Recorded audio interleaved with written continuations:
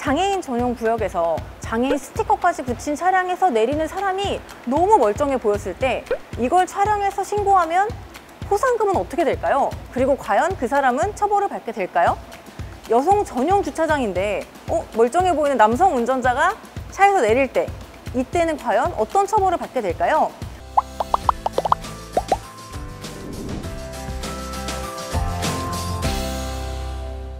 주차장에는요 기본적인 칸 말고도요 장애인, 전기차, 경차, 여성 전용 그리고 노약자 보호 등등 다양한 주차칸들이 있습니다. 이 주차칸들이 과연 지켜지지 않았을 때 과태료가 부과되는지 아니면 괜찮은지 오늘 각 구역마다 어떻게 다른 법이 적용이 되는지 알쓸신 팁에서 자세히 알려드리도록 하겠습니다.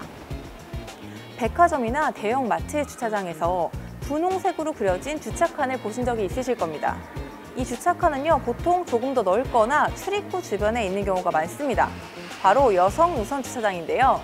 여성 우선 주차장에 남성 운전자가 주차를 할 경우 처벌되게 될까요? 결론부터 말씀드리면 아닙니다. 법적으로 처벌을 하거나 제재할 근거는 없기 때문이에요. 과태료도 부과되지 않습니다. 그런데 왜 여성 우선 주차장이라는 걸 굳이 만들었을까요? 한때 주차장에서 여성을 대상으로 한 범죄가 굉장히 많이 일어났던 적이 있습니다. 그래서 연일 뉴스에 보도되곤 했었는데요. 주차장 CCTV 사각지대나 아니면 어둡고 흐미진 곳을 피하기 위해서 좀 밝고 출입구에 가까운 곳에 여성들이 우선으로 주차할 수 있는 주차 칸을 만든 겁니다. 여성 우선 주차장이기 때문에 여성이 먼저 주차할 수 있으면 좋겠다는 것이지 여성 전용 주차장이 아닌데 많은 분들이 크게 착각하고 계시더라고요. 다시 한번 말씀드리지만 여성 우선 주차장에는 남성 운전자가 주차해도 괜찮습니다. 하지만 여성 운전자를 배려하시는 마음으로 조금 양보해 주시면 좋겠죠.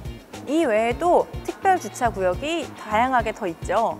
일단 첫 번째로는 임산부 전용 주차 구역을 보신 적이 있으실 겁니다. 이 주차 구역 같은 경우에는요. 조금 더 공간이 넓어서 차에서 타고 내리기 편안하도록 되어 있는데요. 보건소에서 발급받은 임산부 전용 표시가 있기는 하지만 이게 없어도 주차는 하실 수 있습니다. 또한 과태료가 따로 부과되는 공간이 아니기 때문에 사실상 누구나 주차는 하실 수 있습니다. 두 번째로는요, 노약자 배려 주차 공간이 있습니다. 보통 노란색으로 표시가 되는데요. 이 공간도 노약자, 나이가 많으신 운전자분들을 위해서 비워두는 공간이긴 하지만 이곳에 주차한다고 해서 과태료가 부과되거나 처벌을 받지는 않습니다. 다음은 경차 우선 주차 구역인데요. 법적으로 경차 보급을 위해서 주차 공간의 10% 이상을 경차 또는 친환경차가 주차할 수 있는 칸으로 만들 수 있도록 하고 있는데요. 이 경차 우선 주차 구역은요 일반 주차 공간보다 조금 작게 그려진 공간으로 1000cc 이하의 승용차, 상용차가 주차할 수 있도록 되어 있는 공간인데요 마찬가지로 일반 차량이 주차를 한다고 하더라도 과태료가 발생하거나 법적으로 처벌을 받지는 않습니다 앞서 말씀드린 주차 공간은 과태료는 내지 않지만 타인을 배려하기 위해서 만들어진 공간인데요 그러므로 최대한 배려하고 양보해 주시는 게 좋겠습니다 다음으로는 잠깐이라도 주차하면 안 되는 곳에 대해 말씀드리겠습니다. 바로 장애인 주차 전용 구역인데요. 보통 출입구 근처에 파란색으로 표시가 되어 있고요. 그리고 다른 칸에 비해서 휠체어 등을 내릴 수 있도록 조금 더 넓게 그려져 있습니다. 이곳에는 주차 가능 표지가 반드시 차량 안쪽에 부착되어 있는 차량만 주차할 수 있습니다. 이런 표지가 없는 차량이 주차했을 경우나 아니면 통행을 방해하는 경우에는요 최대 50만 원의 과태료가 부과될 수 있습니다. 또한 위조됐거나 변조된 혹은 대여 양도된 표지를 부착하였을 경우에는요 최대 200만 원의 과태료가 부과된다는 점 기억하셔야겠습니다. 또한 이 표지가 정상적으로 잘 부착이 되어 있다 하더라도요 차 안에 장애인이 동승하고 있거나 직접 운전하지 않은 경우 이 경우에도 처벌이 됩니다.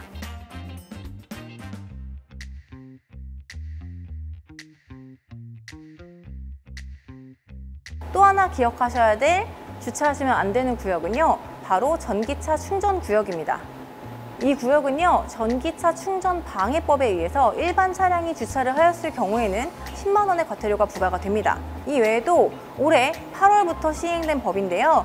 전기차 충전 구역에 통행을 방해하거나 충전을 방해하기 위해서 물건을 쌓아놓거나 아니면 장기간 충전이 끝난 후에도 주차를 유지하는 경우에도 전기차 충전 방해가 되기 때문에 피해 차량을 위해서 과태료가 부과가 되게 됩니다. 정리해드리면요. 일반 차량이 전기차 충전 주차 구역에 주차를 하는 경우, 그리고 통행을 방해할 수 있는 물건들을 쌓아두는 경우, 그리고 충전이 다 끝난 후에도 자리를 이동하지 않고 계속 그 자리를 유지하는 경우에는요, 10만 원의 과태료가 부과가 됩니다. 그리고 충전기를 훼손하거나 아니면 충전 표시 또는 충전 안내문 등을 훼손하는 경우에는 20만 원의 과태료가 부과되게 됩니다. 그리고 마지막으로요, 내 차는 전기차니까 그리고 충전기가 꼽혀 있으니까 괜찮다라고 생각하실 수도 있지만요. 급속 충전의 경우에는 1시간, 그리고 완속 충전의 경우에는 14시간이 경과되어도 차량이 이동되지 않으면 과태료가 발생할 수 있으니까 유의하시기 바랍니다. 오늘 알려드린 긴가 민가 헷갈렸던 특별주차구역 이해가 잘 되셨을까요?